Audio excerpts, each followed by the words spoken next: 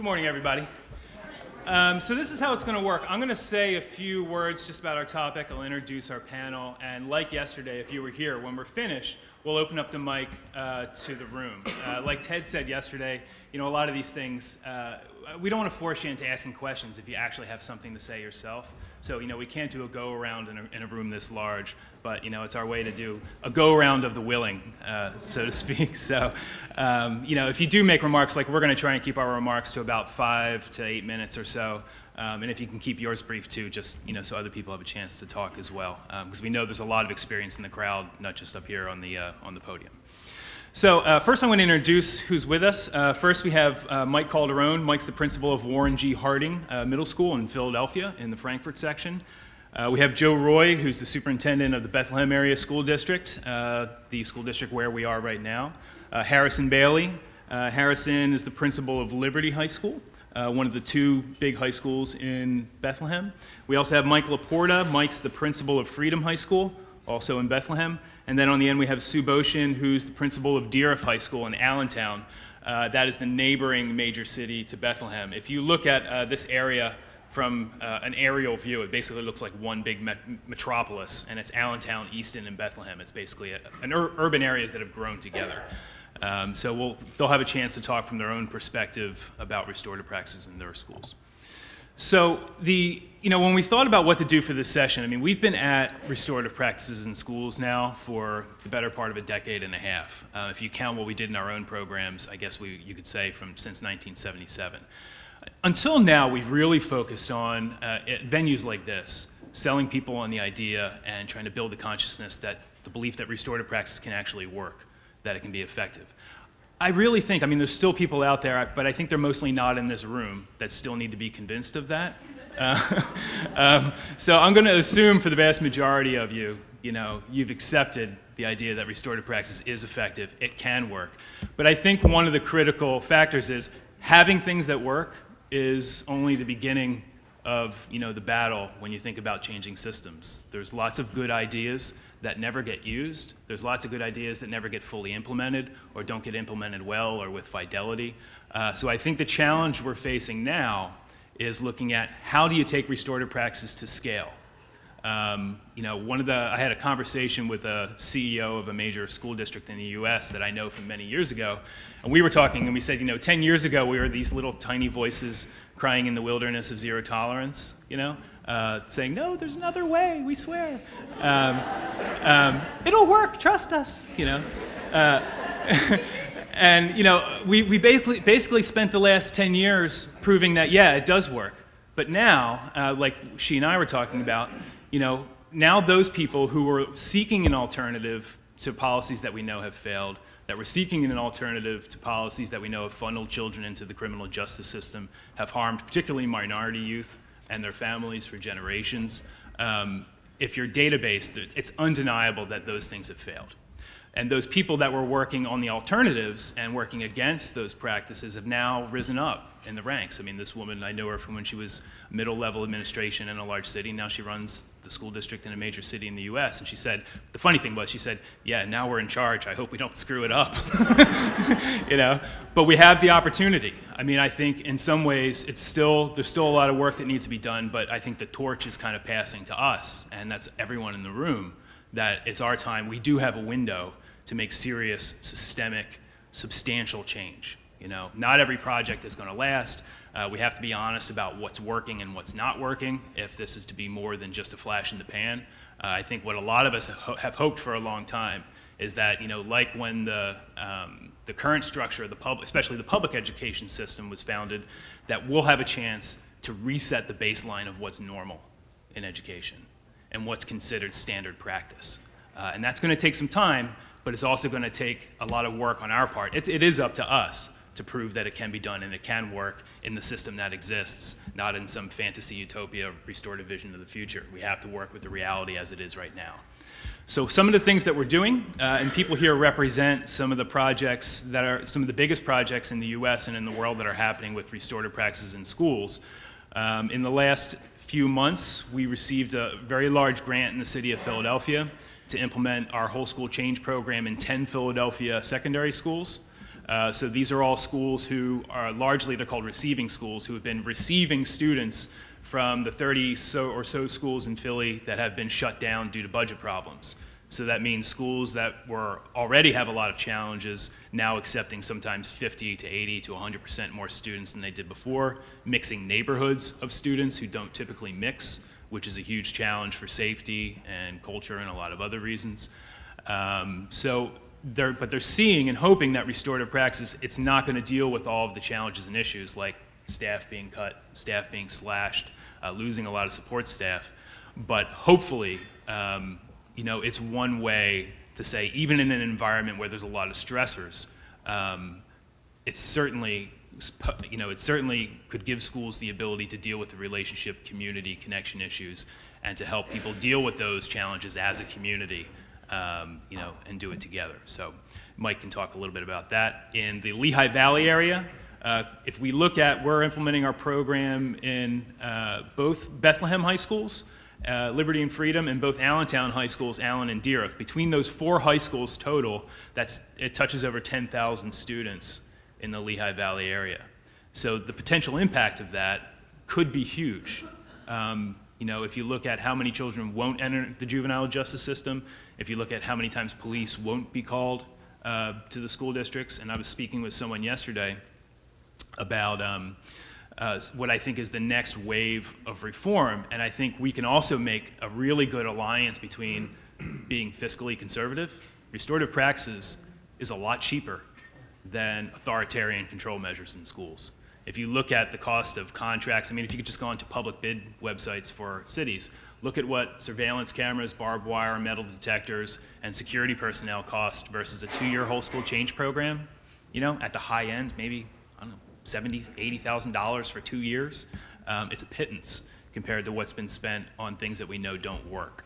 Um, so I think you could see an alliance between that, also then between people who see community connection relationship, empowering the individual, empowering families to take care of their own problems. If you can bring those two groups together, particularly in the US, I think you'd have a pretty unstoppable force for reform because it would cut across traditional political lines too. So that's my speech. But um, so.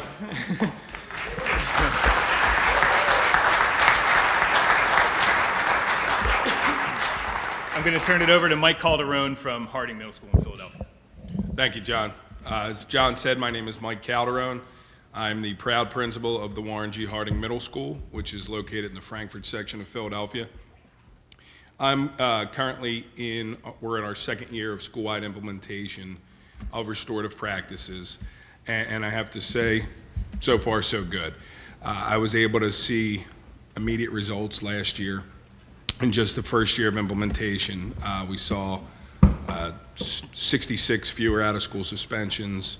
Um, we saw our violent incidents decrease by roughly 20%. And I know that a lot of that is due um, in great part to the work around restorative practices that we've done. I want to give you a little background on my school. Um, as John said, we are considered a receiving school. Um, um, a middle school from another neighborhood closed. So we went from having 600 students last year to 925 this year, um, while losing staff. Um, so that, that's kind of been one of the challenges we're facing this year. Um, but we, we brought restorative practices to Harding uh, a year ago. Uh, I was very fortunate to, um, I was provided with a grant uh, that we were I was given discretion to use for something around changing climate and culture in our school. Uh, we were considered, um, there was 46 schools in the city considered focus 46 schools.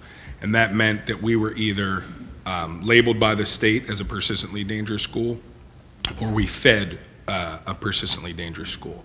So after my first year, we were able to get ourselves off of the persistently dangerous school list. However, our, the school that we fed uh, was still, still there.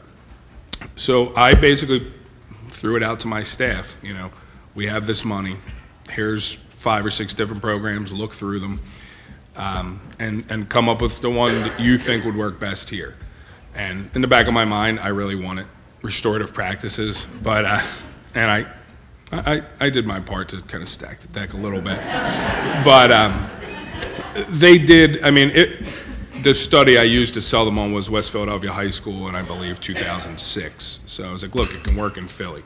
So why don't we give it a shot? And that, I think, led to a great deal of the success we had was having the buy-in from the teachers because they had some say in, in, in the choice of the program. Um, there was some pushback. Uh, a couple staff, there was like two of my like 90 staff members that weren't really on board at first. Um, so there was some pushback. This is soft. Um, you know, how can you just sit in a circle and talk about your feelings and then that somehow makes everything okay? So I, I kept telling people, well, you know, if arresting people and suspending people would lead to um, high student achievement rates and no issues in our school, then we would have been flawless two, three years ago. and clearly we were not. So, um, it, you know, positive intervention behavior systems can only go so far. Uh, we did have, we do have a very strong PBIS system in our school, but we needed something else, something that kind of brought it all together and showed students and staff alike what it's like to be part of a community and how your actions have ripple effects throughout. Um, again, th there was pushback. It was kind of minor. The, the new challenge that we're running into now is with my staff, um, because we're receiving school, we're receiving all these new students, they have no idea what restorative practices are. Um, so our big challenge this year is bringing all of these new staff members on board um, who didn't necessarily have an option. I mean, when we interviewed, we, we told them restorative practices is the heart of what we do here. And if you're not okay with that, then this probably isn't the job for you. And also our students, they came from another school that had some concerns of, of its own. They had some problems with continuity of leadership in the building. So their expectations of what school was like is very different from what ours was at Harding.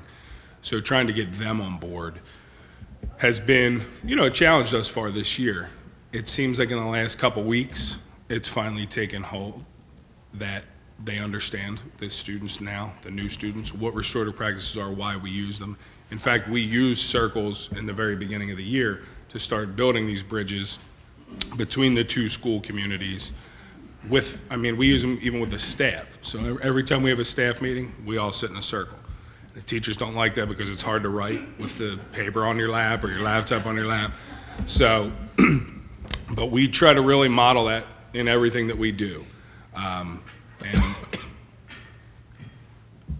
the biggest challenge for me, um, if you can tell, I don't necessarily look like the most warm and fuzzy person in the world. Um, and I came from a, a disciplinary background before I became an administrator. So I was used to that whole, you know, law and order kind of I'm laying down the law and you're going to pick it up when I throw it down. And it was really a, a, a, challenge to my whole mindset. While I knew that this was good, I still regressed back to my old habits and I had to, um, to challenge myself. It was literally full disclosure, we had a, a staff circle, and I basically made my counselor cry. And because she's like, we're trying to do this, and then, you know, when something happens in the hallway, you're just blasting the kids. You know, you're yelling. That's not restorative. And I was like, you know what? You're absolutely right. And from that moment on, it's the warmer, fuzzier Mr. C. and and I have to make myself I, I really do. I, I actually hung the restorative question poster behind my chairs so that when I'm talking to the kids, I make sure I'm following them. Uh, for you to see. For me to see, yeah. Um, because I want to make sure that, you know, as the leader, that I am modeling this all the times as well, that I'm expecting my teachers to. And I've seen a change. I mean, in fact, some of the staff are even saying the same thing to my assistant principal, like, wow, you guys are like nice now. Uh, and I said, it's not that we weren't nice, it was just we were in that old school mentality, and that's a big change. And I think it's important that as administrators, you acknowledge that, that this isn't how the business of school has been done for the last hundred years.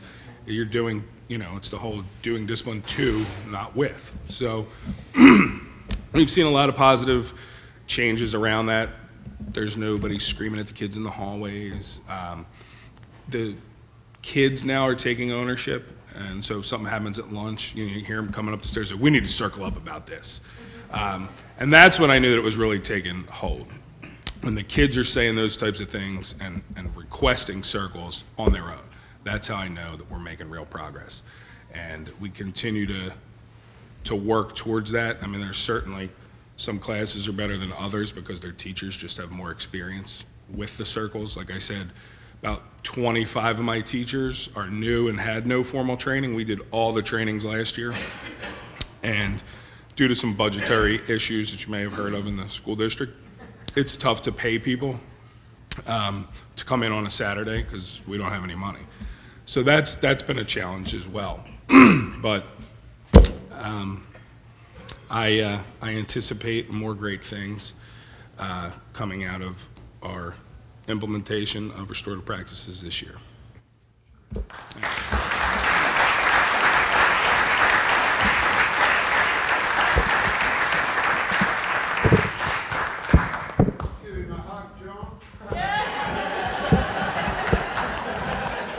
I was just going to say, I was feeling the warmth. I was feeling So it was good.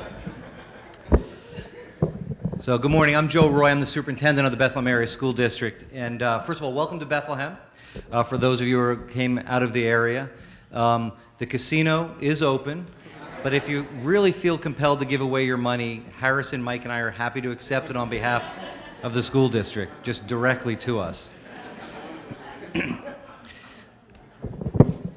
I'm going to jump back uh, to 1998 and then fast forward forward. In 1998, I was a high school principal uh, in a small high school, mostly rural, rural suburban, um, not far from here, about 25 minutes from here. And we were implementing a new school within a school, interdisciplinary, hands-on program for about 150 students who were really alienated from school. And the teachers had worked incredibly hard to create this new program. We had a wing of the building dedicated, we had a new, they devised an entirely new curriculum, and they were really doing everything possible to individualize instruction, literally going student by student every day, planning what do they need to do, what does this person need to do. And we had all the structures in place. But we, what we had, what I came to realize we had overlooked was the, that cultural relationship piece. And we kind of assumed that if the teachers were excited and doing things differently for the kids, the kids' behaviors would just change and they would be excited too. That didn't happen. These were 10th graders in the program, so their habits of not being into school, being alienated, being a pain in the butt, they had, col- they had developed those over 10 years. And they didn't change suddenly because the teachers were doing things differently. And as a result, the teachers were incredibly frustrated um, because we're doing it, we're killing ourselves, and we're still having the same behaviors. And of course, I had talked the teachers into doing this program, and so I had a near mutiny on my hands. And luckily for me, and by sheer coincidence, Ted and Susan Wachtel were parents of a student at Palisades High School, and we fall into a conversation. They're interested in seeing how might these restorative practices, things we're doing at our alternative schools, apply to public schools. And so I was like, hey, I got I have something for you. Come on in. And so they began to work with that team of teachers. It was the first, this is before there were any trainings, before there was any IIRP or Safer Saner Schools or anything. Um, and we began to work with those teachers, and, and we saw very quickly changes in the students' behaviors when they were, things were done with them and they were involved and they were starting to solve problems together. It's pretty dramatic. So I was like, this, there might be some, uh, some value in this. And so we expanded it at that small high school. And from there, I went to another high school and, and similarly implemented restorative practices. And at those small schools, we used what I call the concentric circles approach to implementation. We took a small group of teachers, took the willing, trained them. Next year, next semester, trained a larger group, trained another group, and in a small school, over a relatively short period of time, we could train, the, train up the whole school. Uh, and we saw significant changes. So that kind of the concentric circles building outward from the inner circle. When I came to Bethlehem as a superintendent, I come to a district that's the sixth largest district in the state, Uh, we have 22 schools, 14,000 students, but we focus on our two large high schools, Liberty and Freedom. Freedom has about 3,000, I'm sorry, Liberty has 3,000 students, uh, Freedom has about 2,000 students. Talking about 5,000 high school students. So the question became then, how do we implement restorative practices in these two huge organizations? Um, and high schools are difficult places to change anyway. Um, and so, and, and, some of the things we ran into when I came, when I came to Bethlehem, um, we had a, a, truly, we were, we were in the punitive mode. We were in the punitive box on the social discipline window. I, I never heard so much talk in a school district about the code of conduct, the code of conduct, the code of conduct. Every school district has a code of conduct, but we were obsessed with our code of conduct. And we were obsessed with only that portion of the code of conduct that dealt with consequences.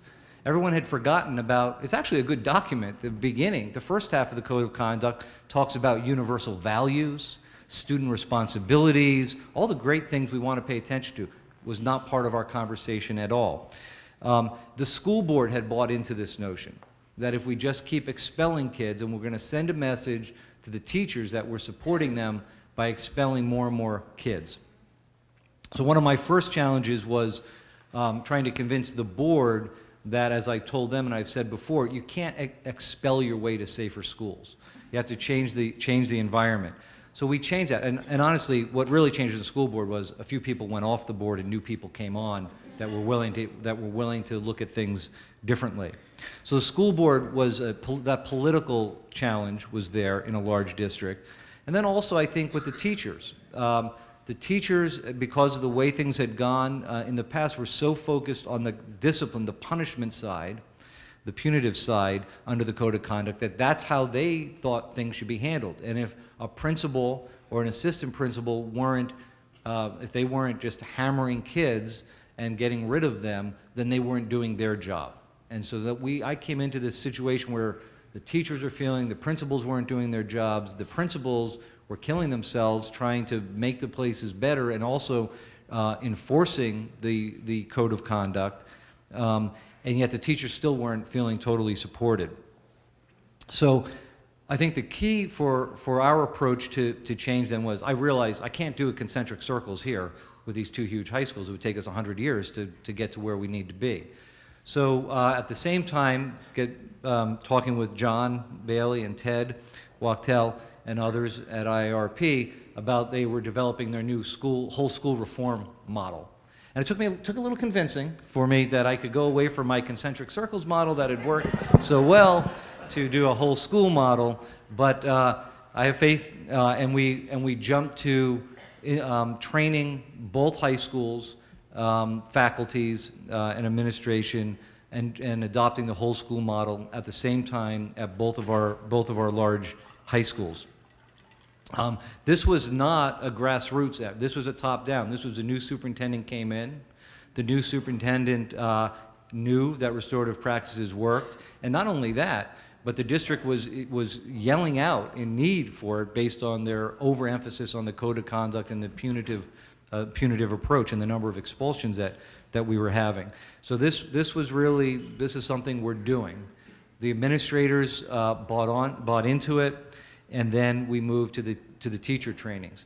I think that um, for, at, for implementation at any level, uh, the key is first to have a vision of what, you know, why are we doing this? It's about relationships. It's about improving the culture.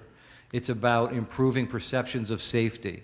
It's about ultimately um, creating a better environment for students to learn and to perform. Um, so we need to, to keep our focus on that vision and that it's shifting the vision from purely the punitive model. Now, that's not to say, I mean, we still suspend kids, and I always say this because, because as Mike said, you know, first thing people's perceptions are you're going soft somehow um, on, on crime when you do something different. And so, I mean, I've never, and I was a, I ran a pretty tight ship as a high school principal. You know, it was never about um, not holding kids accountable. I view this as in addition to. There's still a con, if you get into a fight, there's a consequence. But now you have to do something to fix it. There's got to be that restorative piece and the fixing piece. So I view it as we're, we're asking more of children uh, to accept their behavior and, and fix it. So we needed to get the board on board, we needed to set a larger vision, we needed to then uh, make sure the principals were on board. My experience as a principal was the, the, the principal has to, has to buy in.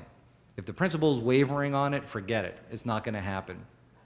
Um, and so the principal leadership, and Harrison and Mike will talk about things that they've done, they have sent strong messages that this is what we're about now. Guess what? Things are different. This is what we're about. And there's been pushback, um, and there's been discomfort, but they can't waver, and they haven't wavered, and they've done some things in some high-profile cases that maybe they'll mention that where they stuck to a restorative process with positive outcomes, where it would have been easier to just go back to the punitive, go back to the punitive uh, box. So the principals have to say this is non-negotiable. Um, we have to do it within the larger framework. In our district, we talk about our roadmap to educational excellence. You know I had to mention it at least, at least once. We mention the roadmap publicly on a regular basis. Roadmap, I'm sorry, right, roadmap 2.0, we just revised it. Thank you. Um, but it provides a framework for us that everything we do has to fit in. So it wasn't restorative practices just for the sake of restorative practices over here. In our roadmap, we talk about core learning, stretch learning, student engagement, and personal skill development, which is really values, character, and development. And so what we're, restorative practices fits into our model for school improvement. It's not a standalone thing. I think that's important. It can't just be something we're doing just to improve discipline. That's not what it's about. It fits into the larger framework. And then I think that we had to, you know, take that, that look, as I mentioned before, of, of, you know, kind of rebooting the code of conduct. Then, and looking at it's not purely punitive. We want to be restorative as well. And for us, it's not so much we had to change our code of conduct. We had to take another look at the front half of the code of conduct where it talks about universal values and developing and developing good citizens. So we've invested a fair amount of time in training teachers. Um, there have been, you know, we're, we're on the path. We're certainly not there, but we've seen uh, um, some good numbers on discipline statistics. We've seen some improvements on surveys that we've done, on perceptions. Um, and so we know we're moving in the right direction with the high schools don't change easily and they don't change quickly, but we're definitely moving in the right direction and seeing positive results. I think uh, Harrison and Mike can talk with a little more detail about that.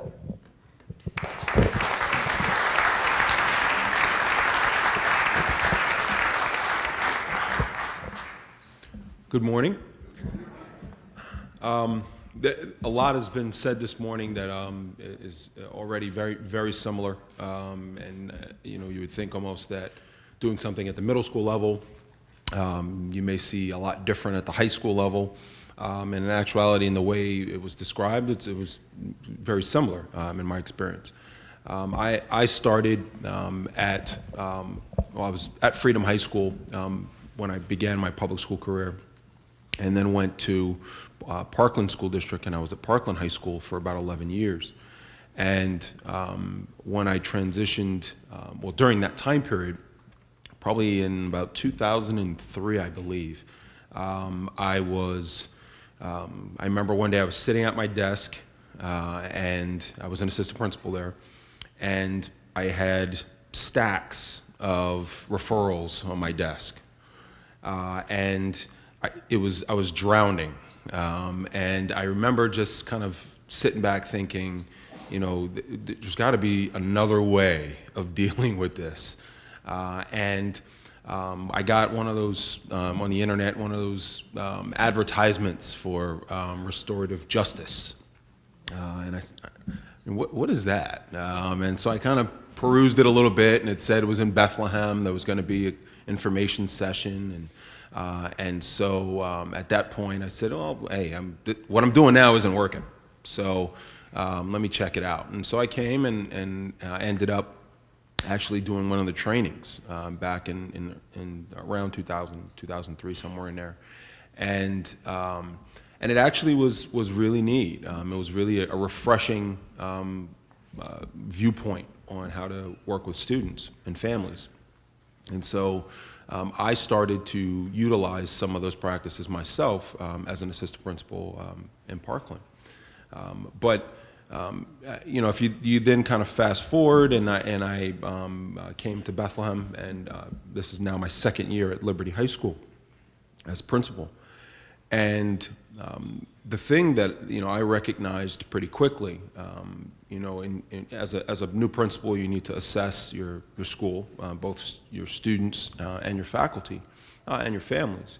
And um, I realized very quickly that um, my faculty uh, was in need, um, in need of some relationship building, um, some improvements in communication, um, and I knew that if we didn't do something uh, with the staff, uh, we were never going to see any gains with students. And so um, restorative practices had, had been uh, uh, in place already a year before I got to um, Bethlehem. And um, we really, at that point, um, focused on the staff and, and improving the relationships, some of the relationships that existed that were kind of poisoning the faculty. Uh, and um, what I did pretty quickly was um, at, at one of our first couple faculty meetings, I stated to the faculty, listen, um, you know, we're, we're a restorative high school. This is what we're saying we believe in, and this is what we're saying we are. Uh, and um, unfortunately, that's not necessarily for everyone. That's okay. If it's not for you, I, I understand, I respect you. Uh, I, you just can't work here. I, I'm I'm okay with that. We tried to send them over to Freedom, but they weren't welcome. And you know, I, I have to tell you, I mean, you know, once the, the the faculty knew that I was taking that stand, and that's what we were going to do, um, you know, they they started to get on board. Um, and and obviously there were some who who jumped on board, and there were some who had to be pushed. Um, but um, but but it happened, uh, and I think um, you know we we got to a point where um, you know we really transformed the school. Um, if you come into Liberty High School, in many of our conference rooms, you know, especially in my conference room, I got rid of my my conference table. I pushed it all the way to the wall. Um, and, and all of my meetings with my administrative team, um, any of my informal hearings with, with parents and, and, and students, um, any of my um, major meetings, whether it be uh, for emergency management or any of those, all of those occur in circles um, without tables. Um, and it's more the kind of the, the symbolic component of it at this point um, to just drive home. And for me, it's important that when faculty, you know, there's, there's windows on our conference room um, from when you walk inside my office, and you can see, what, if you're coming in to talk to my secretary, you can see into the conference room. And so I wanted anyone who came into that office, when they, when they looked in and saw us meeting in that room, they saw us sitting in a circle with nothing in between us. Um, I wanted that to be a very clear message um, that that's, that's the way we conduct business. Um, and, and I think you know, that and a number of other, th- other things really set a tone um, with our faculty. And so that was a, a, um, one of the things that we did. Um, to, to kind of talk a little bit about the, the, the impl- implementation phase of things and, and things that we're, we're currently doing. While we noticed that the first year, um, there was a lot of pushback from the staff in terms of um, they would have, we had what was called PLGs, right, uh, personal, um, professional learning groups um, that occurred um, once a month for um, between 2.30 and 3.50. So that time period was sacred, and, and they met in these professional learning groups and really focused on, uh, the first year, really focused on um, the concepts within restorative practices. So really looking at um, you know effective statements and those kinds of things. Um, and although that was necessary and needed so that they could start to understand what it's all about, one of the issues that I, I saw when I, when I started a year in was that um, it still was very impersonal to them. Um, they didn't feel that it really applied to them in a, in a connecting um, in a type of way. And so what we did this year was we really, well, th- this past year, was we really focused on um, looking at the topics of our professional learning groups and really focusing on issues that existed within our building. So we, we actually, those professional learning groups focused on communication between staff members. You know, what is professional, what should professionalism look like?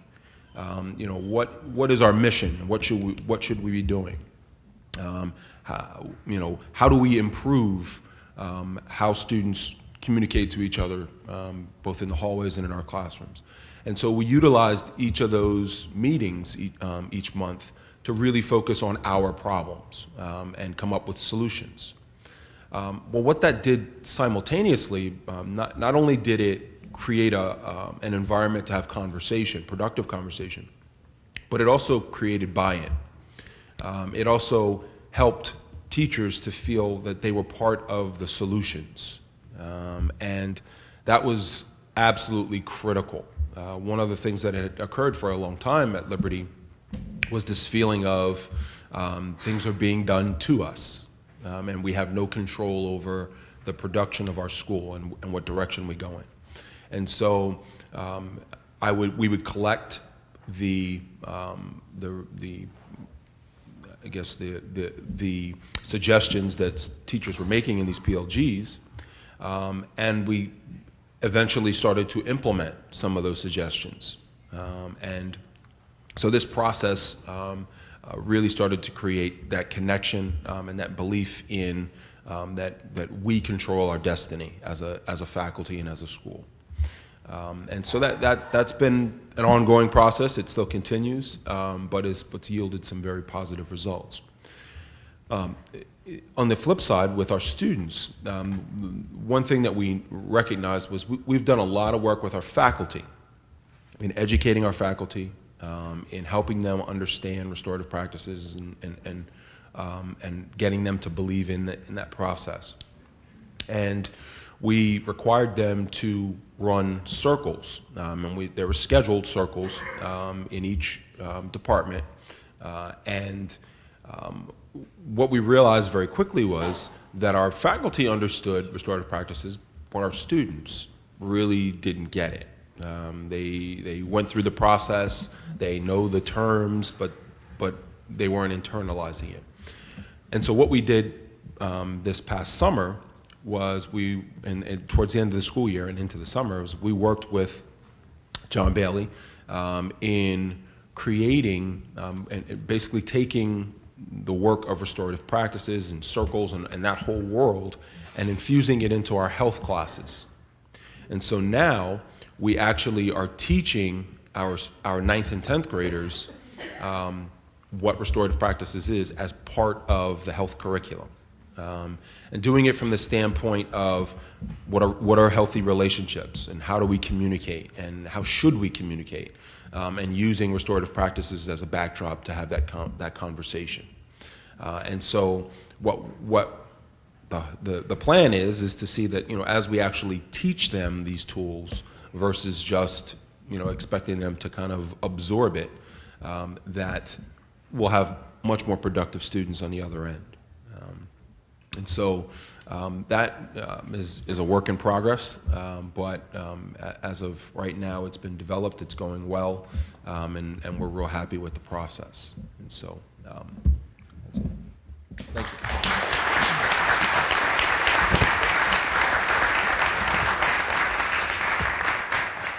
Good morning. Uh, My is Mike La Porta, and I'm the principal of Freedom High School in Bethlehem. I've been there for seven years now, and three years ago, when Dr. Roy came on board to Bethlehem, some of the undertone in the building was, I wonder if he's going to bring restorative practices with him. And as this began to uh, roll out in our building, and even before uh, we, we started the full-fledged uh, school change, uh, I, I posed a question to our faculty, and I asked them to define insanity to me. And the, the definition of insanity is doing the same thing over and over again, uh, expecting a different result. And so that was the nexus to uh, rolling out uh, restorative practices at, at Freedom High School. And I'd like to talk about, turn that into two success stories. Um, First, the first success story really uh, leads into a tipping point or, or uh, that, that defining moment in our school. And, and the, the first success story really is uh, the cultural shift that exists, that, that, that has occurred in our building. A, a cultural shift of uh, uh, communication, a, cultural shift involving uh, a, a true establishment of trust uh, among uh, our, our school community. The whole notion of freedom family exists. Um, our, our teachers, the administration, uh, our students, our parents, there's, there's just this whole open line of communication that exists through being a, a restorative high school. Uh, we, we attack problems as opportunities. Uh, the glass is always half, half full rather than half empty. Uh, we communicate with our parent organization. We communicate with our student organizations. Um, we have a school improvement team that addresses the issues. Um, so with that, with that being said, you know, there, there was the defining moment, as, as I can say. Um, we were a year into restorative practices at, at Freedom, and we did the whole circle thing. We did PLGs. They weren't working as well as we would have liked them to, but it was the end of the school year. And we had an incident of vandalism in our, in our school, and it was about a week and a half before graduation, and we had uh, four seniors sneak into our school about 11 o'clock at night, and it's uh, nearing the end of a, of a custodial shift change, and they realized that in our fountain area, uh, there was uh, vandalism done, significant vandalism, more of a mess rather than uh, breaking things. And we were able to clean it up before the start of school the next day. And people found out, and they were looking to see how I would handle it. Was I going to be punitive in nature? Was I going to disallow these students to not participate in our commencement ceremony? And, and uh, what I did is we, we handled it restoratively. Uh, we ran a restorative conference. The people that were invited to the conference were the students who obviously uh, created the vandalism. They were invited to have one support person other than a parent to be part of the conference. Their parents were invited. Uh, I invited also the victims. The victims were uh, the custodial staff, uh, the assistant principals, the counselors, teachers who were directly connected to these students, coaches, advisors were invited. And then I invited about four or five naysayers, people who I didn't think were on board yet. And they sat in this restorative conference. It, it was huge. It went about three hours in length. And the emotion and how this conference culminated itself was that this was an amazing process. And there were criteria in the restorative agreement that we needed, that students needed to complete. There was community service for the school. There was a school-wide apology to their senior class members at graduation rehearsal. There was apologies that needed to be made to the faculty at a faculty meeting. And there was a lot of ownership that needed to take place. Uh, all of those criteria were met. That was the tipping point. That was, that was the defining moment of restorative practices at Freedom High School. The second success story that evolves out of this is the data. We have seen amazing data evolve out of, out of uh, the beginning of our restorative practices uh, initiative. We've seen tremendous, tremendous reduction probably close to 200% reduction uh, of code of conduct referrals. We've seen a significant reduction in student consequences of suspension, expulsion, student arrests. Now, to create the framework or the mindset of what Freedom High School looks like, we're in a suburban setting, but we are an urban school. Close to 40% of our students qualify for free or reduced lunch. they're, identi- that's, uh, they're identified as being economically disadvantaged. Um, There's a, a a direct connect to, to our, our student achievement levels and some of our code of conduct uh, data to the economics uh, found within our school. So those are some of the issues that, that the data allows us to attack. Dr. Roy mentioned earlier, uh, we, we, we survey our, our students. We have a school improvement survey. Over the three years of, of administering this survey, we've seen approximately a, a 9% reduction in school safety, whereas in year one, implementation of restorative practices uh, to year three of the survey, we've seen 9% of our student population feels more safe in school. So those are really the, the, the two success stories. I, I talk about how do we tackle our challenges within our school. Uh, we circle up, we have a school improvement team. Uh, it operates uh, in circle format. There's a check-in every meeting. Uh, we, it, it, kind of looks like a fishbowl at, at, at times, uh, where if somebody has a particular issue that they want to address, then they go in the center and we address it in, in fishbowl format. Um, if nobody has a particular uh, item of concern, then we attack school improvement issues, uh, uh, student achievement, uh, the PLG process. The PLG process that we, we implemented doesn't look the same as it did in year one. Uh, Year one, teachers were looking for me and, and my assistant principal, who was facilitating uh, PLGs, to come up with the topics of discussion. And the, the true PLG really, that individual group, we have many PLGs that operate in our school. Each PLG perhaps has a different issue that they need to address. So the, the PLG leader facilitates uh, identifying the topics of PLG. And if there's no issues going on in school, then let's take one of the components of restorative practices, whether it's affective statements or whether it's the social discipline window.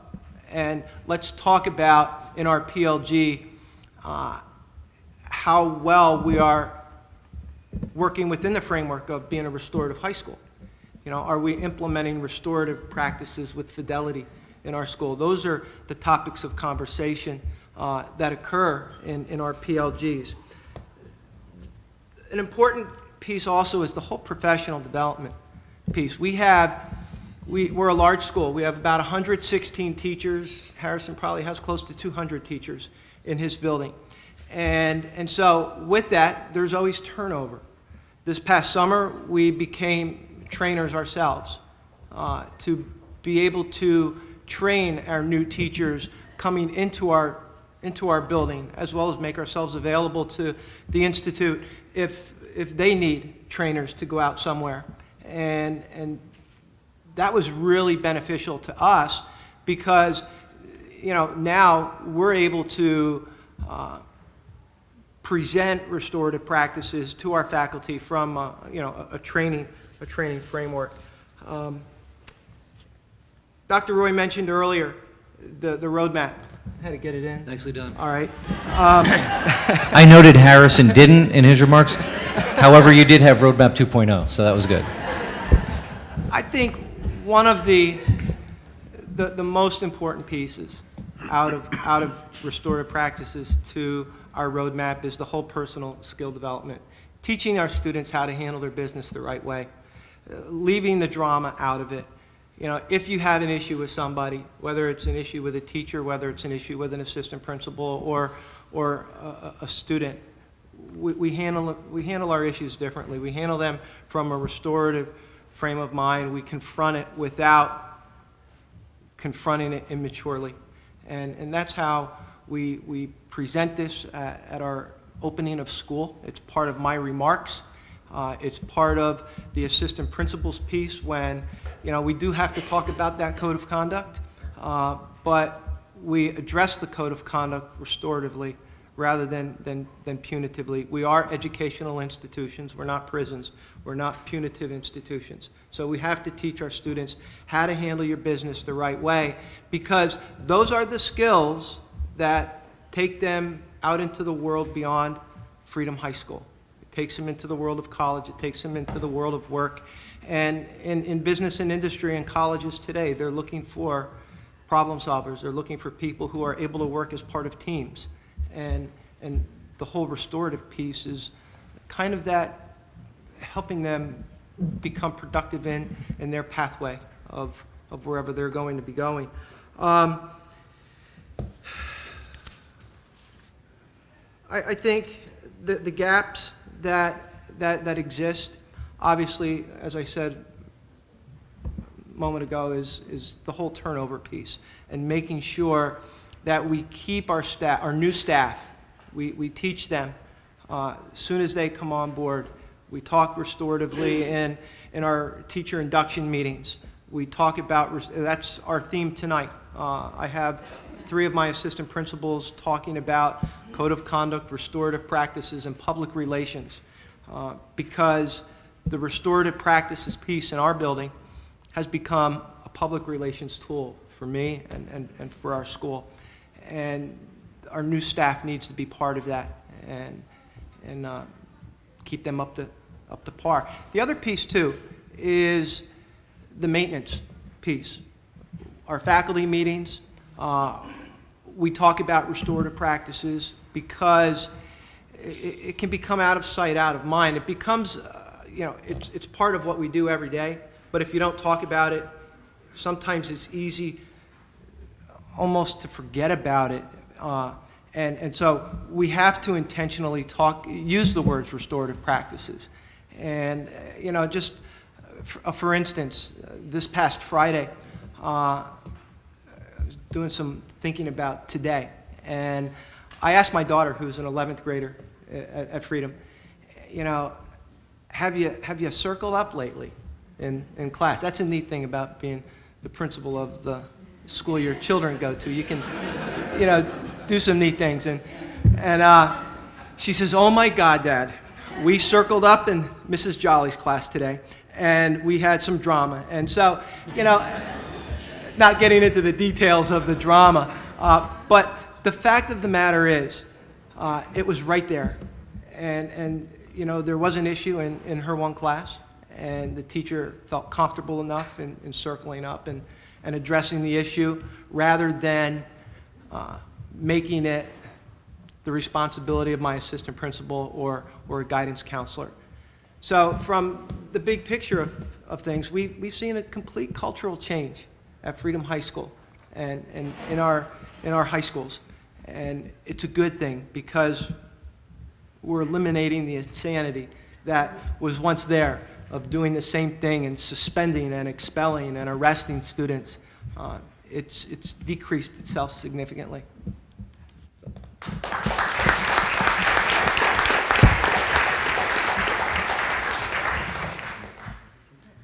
Good morning, everyone.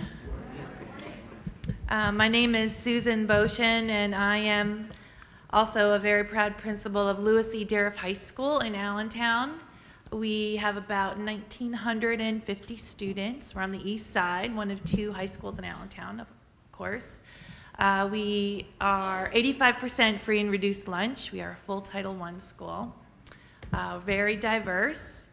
Uh, about 60% of our students are, 65% are Hispanic, uh, about 12% black, and then um, uh, the rest being white, uh, some Native American, and some Asian. Now, I am still riding this uh, learning curve of restorative practices. We are in year two. Um, I'm in my fourth year as the head principal at Dieruff High School. And I want to thank my compatriots up here because I'm, I'm still writing down some ideas and, and notes and um, some inspiration. So I want to thank uh, my colleagues up here as well. I'm just going to share with you uh, a few highlights of our story of implementation. Um, and I want to make sure I don't forget anything. And I, I have to say, so many of the, the pieces that uh, my fellow principals up here shared, we've experienced the same thing. Um, taking on restorative practices was a pretty huge undertaking for our two high schools. Uh, we had created those beautiful charts of school-wide positive behavior, behavior models, beautiful charts of what we expect students to do in the hallway, in the cafeteria, um, and we posted them all over the school. And things just weren't working as well as we had hoped. And we kept saying, well, this is how you're supposed to behave, but we really needed some tools and strategies of how to get everyone there, you know, how to travel to that end goal. And a lot of our teachers are, you know, education is a small world. We travel in the same circles. A lot of our teachers are friends with Bethlehem teachers, and they had heard about this restorative practices. Well, Bethlehem's doing restorative practices, and um, our central office got wind of it, and we started looking into it, and there were meetings, and uh, lo and behold, the two high schools were taking it on full gusto, all teachers, you know, it's what Allentown loves to do, two feet plunging into the deep end. so off we went, and we started with some full staff trainings uh, at the beginning of last year. So our first year was the 2012-2013 school year. And I think restorative practices sent out an army of trainers, you know, to train Allen and Dieruff high schools. And they mixed us up, and we strategically placed, you know, certain teachers and groups. And um, we brought in our alternative schools, which added this dynamite stick, you know, to our groups. And I really have to hand it to the restorative practices trainers because they had their hands full and they did a marvelous job. And I have to tell you, too, that our staff at Dieruff High School, they were hungry. Like, I have to explain it, they wanted to learn some strategies and skills to get to those end goals on our school-wide positive behavior model, these beautiful posters we had everywhere. They really wanted it. And without them, this never would have worked so beautifully this year. Our, I have to commend our staff because our teacher leaders were key. They were absolutely key. In our PLGs, and it goes true, and every school leader knows this, for PLCs or PLGs or whatever small collaborative group of teachers you have, you have to have a designated leader. You have to have someone in charge. And it's a great opportunity for building capacity within your teachers as well. Because then there's that accountability piece. And we had, fortunately, we had this beautiful schedule last year. We don't have it this year. But last year we had embedded teacher collaboration time for PLCs. And then what we did was we created PLGs to run out of those groups. We lost that this year in our reprogramming. And um, we are looking for alternative ways to get teachers back together, and I think we found some. So our teacher leaders were uh, working with our rep. I can't say enough about Mary Jo Hebling. She's been at our beck and call. Thank you, Mary Jo. It was persistent pressure with our teacher leaders, working with our teachers. Uh, the circles, we too have students that say, uh, we need a circle, miss, we need a circle, let's circle up. And we work very hard on turning those circles into learning the second semester. Um, what we found with restorative practices is it, it truly humanizes every person in that school building. Metacognitively, we talk about our likes, our dislikes, our humor. And you're no longer this student who was just disrespectful to me. You are someone's son, someone's brother. You enjoy watching this TV show. That little restorative check in which can be fun, it's very powerful. We model it at our team leader meetings, our department chair meetings, when we have guests in, even in a whole group like this, when I have a faculty meeting of our 200 teachers, I shouldn't say that, uh, 130, Allen is 200. But with our support staff, our security guards, it's about 200 folks in the room. I make them find, I say at the very beginning of every meeting, make eye contact with, with your restorative check-in partner right now and answer this question. At our last faculty meeting, I said, if you had only $20 to your name, what would you spend it on? They loved it. And that little trigger sets the mood for any meeting. You are human once again. We have similarities. We have uh, differences, but together we're all one. So I can't say enough about that. Then we moved into go-arounds for brainstorming at our meetings, and um, we would constantly ask teachers, are you using these? Here's how to do it. We're modeling it. Are you using these with your students? Um, we even used a restorative conference with two co-teachers in a classroom who weren't getting along so swimmingly. And let me tell you, that traveled through the grapevine of the school within 10 seconds. Do you, do you know they used restorative practices with two teachers who weren't getting along?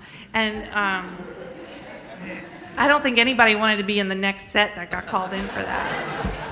Uh, but I didn't run it. Uh, we have a teacher, we have two teachers now who are in the graduate program here at Restorative Practices, and um, we asked her to run it. And she's highly respected. Oh, lovely young teacher, only in her third year, but she's highly respected because she employs these questions and strategies, and she's these excellent relationships with students. So she ran it, and uh, it worked out beautifully. Also, um, our challenge is making time for that restorative conference with our teacher and a student who may have had a, a tough incident that has compromised their relationship. Um, how, how often does a student go into an in-school suspension room and all of a sudden they're re-entered into the classroom and there hasn't been that connection between the teacher and the student. So we are trying to find ways to reconnect and have that conference with maybe our, our in-school suspension room isn't called that anymore. It's called alternative to suspension, an ATS room. And we have a huge component of restorative practices in that room. And we ask teachers to stop down and have that conversation with the help of one of the teachers. And so that when that student re-enters, it's not just a cold um, re-entry. You know, there's a soft landing. You've made a connection. I've heard you, you've heard me. This is where we need to meet in the middle, and these are the non-negotiables, and this is how I will restore our relationship so that we can carry out our primary mission of learning, student learning. You can't learn in an environment in which you don't feel trusted or safe. And restorative practices has really helped us transform our culture. We're working very hard at embedding it into our organizational school culture. Let me tell you at the end of the day, um, what was happening by the end of the year. We started implementing some interventions that we've learned through restorative practices that weren't just punitive, and we tried to amp up those numbers, such as reflection journaling with the assistant principal or the dean. That increased as an intervention last year from 2012 to 2013 by 84%. Reflection journaling. Goal setting, either with a counselor or with an assistant principal or a dean or even an ATS teacher, we increased that from 2012 to 2013 by 65% with students who had been referred for behaviors. Now here's the big win. From 2012 to 2013, our tardies to school, it was a big issue for us, getting kids to school on time and feeling as though it's the place you want to be, to value, to make a difference in your future we had a 45% reduction in lates to school. But here's the big win.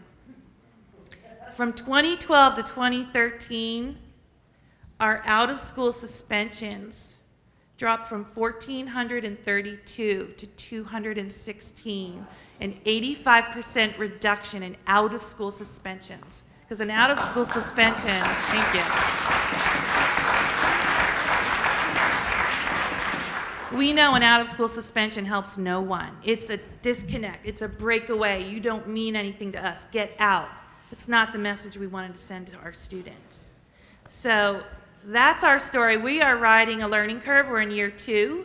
We have another full day training coming up. Mary Jo is working with us. She meets with our leadership team. She comes in and um, we're finding it a challenge to keep it moving, keep the momentum going, but that gentle, persistent pressure, teacher leaders are key, and I can't say enough about our staff. Um, they've really stepped up to this. And so that's our story still in progress. Thank you.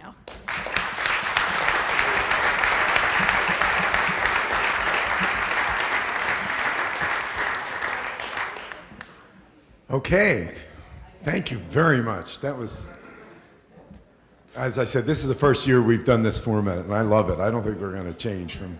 It's nice to have a series of perspectives.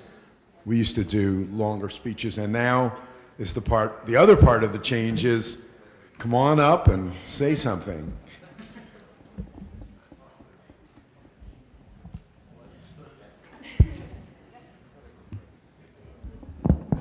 Sorry, Ted. um,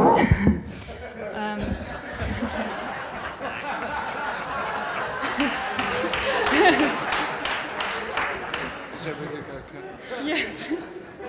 yeah.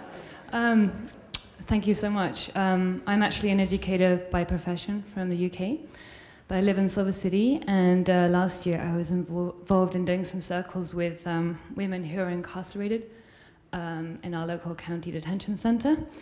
And they were just talking circles. They, they didn't involve victims, but um, there's one woman who um, I was thinking about during your presentations, and she said uh, when she got there, she felt uh, not only suicidal but homicidal. But after the circles, that had changed because of the connection she felt. And um, as you were talking, I just found myself thinking, like, how many tragedies have you prevented? You know, Sandy Hook, Columbine, and we're never going to know. You know, the news broadcasts all these tragedies, but how many um, have been prevented from your work? So I just want to give you kudos for that.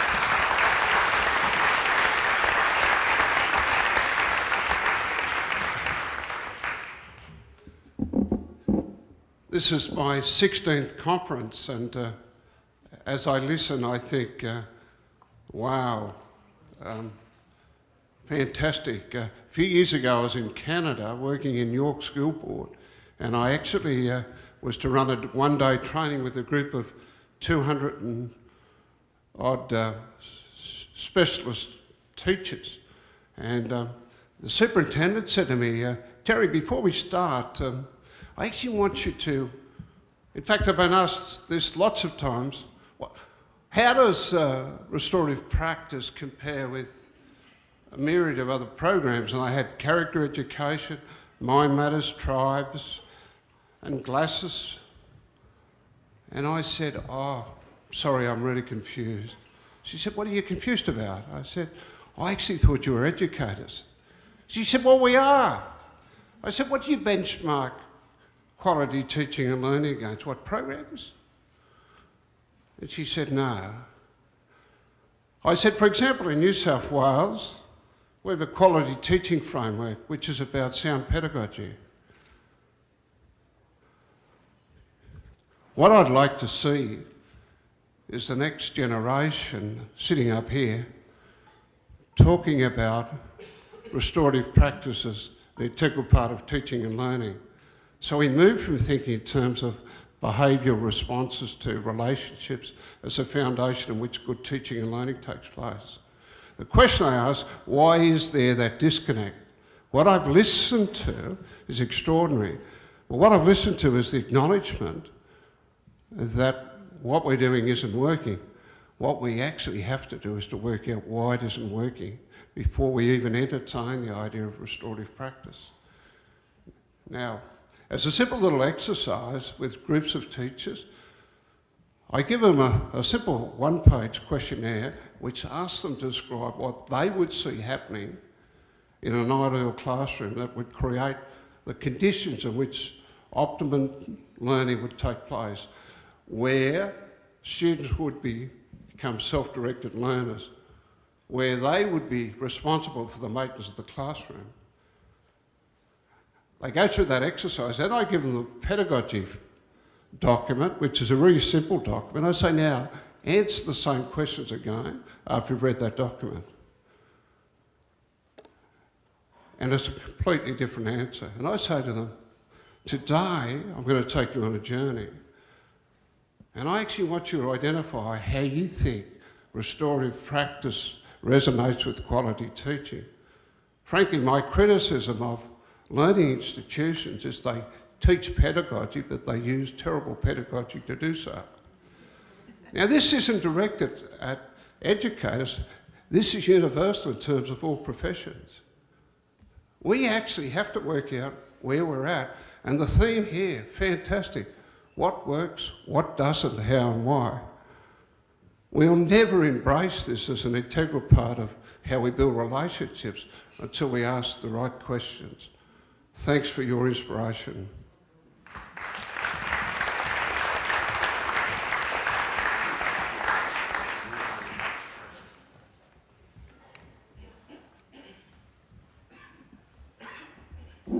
Thank you. Um, Denise Kaiser Skyset. My name is Bonnie George, and I'm from Northwest BC. And there was a few of you that heard my uh, my presentation yesterday, and I want to put my hands up to you guys for implementing this in the school. We've done so 25 years ago. We've taken We've taken control of our education system in my community. Um, we're a certified high school, we're a certified adult center, we're a certified elementary school, and it's all run by First Nations people. And since we've implemented our culture and tradition practices in within the curriculum, because the curriculum prior to that was trying to fit a circle into a square. And we were only setting our people up for failure. And since we've taken control and since we've been implementing culture and tradition, we have so many success stories. We have doctors, we have lawyers, we have teachers, we have uh, um, our own people that have master's degrees in whatever area you can cover. And I have a 23 year old cousin who is uh, practicing medicine in Calgary, Alberta today um, thankfully for you know restorative practices. It's not only in our schools; it's a part of our life. Thank you very much.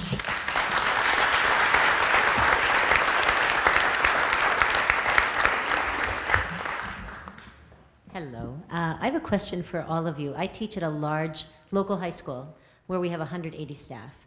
And um, I, when I was trained in restorative practices at my school, we had the training and then we had basically like a PLG for six weeks where we sort of continued the conversation. Um, now we are training a larger number of staff, um, but that PLG piece is not in there. So what I want to know is how have you all done that? Has it been like sort of after school voluntary? I know you mentioned that it had been part of the time period, then it's not. Do you provide extra compensation? The practical, practical aspect. Our PLGs are embedded in our, in our teacher schedules. Um, we have, we're on a, uh, a semester block schedule, and our teachers teach three out of the four blocks in the day. They have a 45-minute planning period, uh, as well as an as-assigned period where they may have a duty, they could have a CAF duty, they could have a hall duty, they could uh, provide a coverage for a, a colleague. One day a week, is assigned to PLG. I have an assistant principal who creates a PLG schedule. Okay. Uh, they are interdisciplinary in nature. They're all different subject area teachers uh, that, that meet in, in their PLG and address building issues uh, or issues I'm having a difficult time with this particular student or, you know, it, it, it could, it, it varies significantly. But it, it is an expectation, uh, one day a week uh, for, for all teachers in our building. And part of my administrative team meeting, uh, we do have a PLG component, part of our meeting with Okay, uh, a thank you. check-in and problem-solving session. One, one of the things that um, helps at Liberty is that, um, in the same stance that we, we have, every Monday after school is carved out for something. af- um, And what we've done is we've shortened, my faculty meetings are only 20 minutes. Okay. Um, If I can't, if I can't say it in 20 minutes, I mean, we have a problem. So my faculty meetings are 20 minutes long, but that time is now put into PLGs. okay. Um, And so we, we make that a priority. Okay. um, Which I think sets, sets the agenda, that, you know, that's what we're, we're About- focused on. Yeah, So. that's good. You have something different. Here's one other I just- idea. Oh, I'm sorry. I just want to mention the framework of, if anyone's coming up, we're, we're going to finish in a few minutes, so one more speaker. I can't ask anyone else to come up, but thank you. I can share with you what we've just uh, decided to create. As uh, Mike said, teachers have a duty because it helps to run a safe school, you know, hall duty or CAF duty, you have to have a, a safe school with teacher supervision. What we've done is we've created a schedule for substitutes that cover duties, uh, duty sub, and then we can maybe swap a teacher's prep period with a duty and get them together, because teachers really don't like being pulled out of their assigned classroom, obviously. And we don't want to pull them out of that. Um, but if we can hire a couple subs that are willing to do duties, then with the occasional pull, if it doesn't work out on the schedule, the occasional pull of a teacher from a class, but we really try to avoid that. Thank you, thank you. Hi, Good morning. I'm uh, Gregor Ray from uh, Aberdeen in Scotland. And um, for about 30 years, um, I've worked with uh, large organizations, uh, not for profits, education, uh, corporates, uh, around major change. And the challenge for the leadership, and by the way, what I heard is inspirational. What you're doing is absolutely marvelous. And it's just an observation. Um, when you are driving major changes in organizations, and the implementation of restorative practice surely is a fundamental and profound change, that the, um, the tendency is to look within your own organization and drive change within the organization. And what we tend not to do is to look beyond the walls of our organizations and look beyond into the wider ecosystem that we're part of and say what else can we leverage to help us on our journey because it's all about sustainability. And I think the restorative message goes beyond the, the boundaries of any organization. And it's surely a methodology to reach out and engage with others, other stakeholders, and whatever it is you're doing to help you sustain the change that you're, you're trying to do. And so, for example, in the United Kingdom, in a very, very simple way, our work with schools, both primary and secondary schools, is to help the leadership of the schools look beyond their own boundaries and reach out into the near areas of the ecosystem. And by that, we mean parents and families, the wider family, and how they can help the organization to sustain what it is it's, it's trying to do. And I believe the restorative ethos, the restorative message, is hugely conducive to that ability to reach out beyond your own boundaries into that wider ecosystem and help build sustainability. Thank you very much.